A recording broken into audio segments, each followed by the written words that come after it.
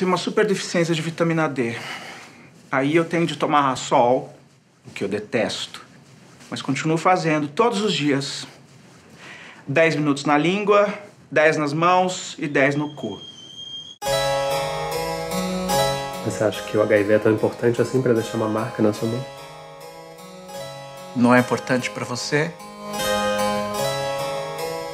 Eu já disse, né, que eu tenho memória de outras vidas.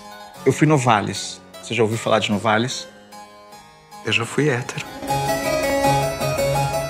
Sei lá, os pais deveriam temer que os filhos fossem traficantes ou que os filhos fossem viciados.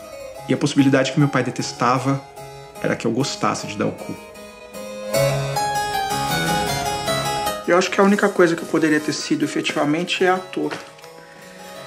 Depois que a gente começou a fazer esse filme que eu me dei conta disso. Esse filme tá muito careta. A gente precisa de catarse.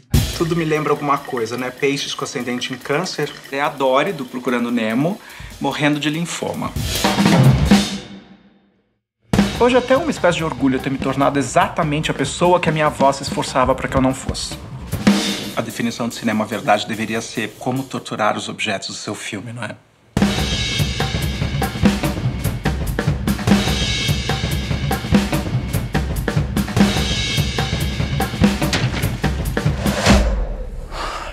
Você acha bom entrar na minha cabeça?